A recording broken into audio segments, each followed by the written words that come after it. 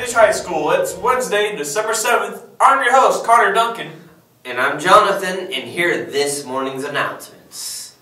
The Nerd to Serve Club Toy Drive is underway. Bringing new, unwrapped toys and share Christmas with others. There are collection boxes in every classroom. Seniors, the FAFSA application period is almost over. December 16th is the last day, so time is running out. The Legacy Lounge is showing a movie in the cafeteria at 3.30 today. Stop by and check it out. Should be a really good movie.